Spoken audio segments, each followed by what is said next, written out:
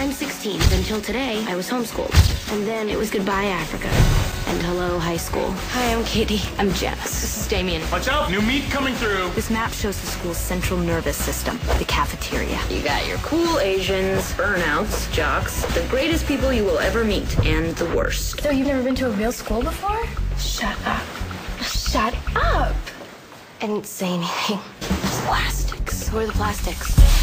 They're teen royalty. That's Karen Smith. She is one of the dumbest girls you will ever meet. I'm kind of psychic. Really? It's like I have ESPN or something. Gretchen Wieners.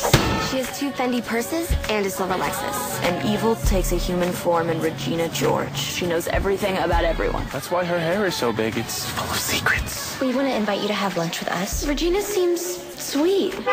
Get in, loser. We're going shopping.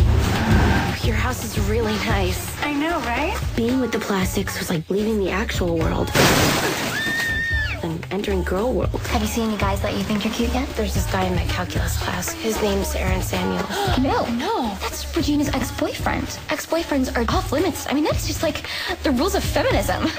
Gretchen told me that you like Aaron Samuels. I could talk to him for you if you want. Really? You would do that? You're so hot.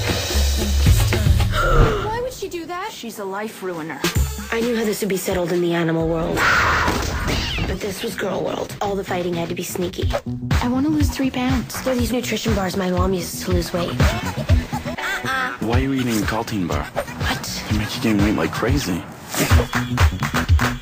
Who does she think she is? I like invented her. I'm sorry I laughed at you. I'm sorry I called you fat. I'm sorry that people are so jealous of me. But I can't help it that I'm popular. Walk it off. Walk it off. Okay.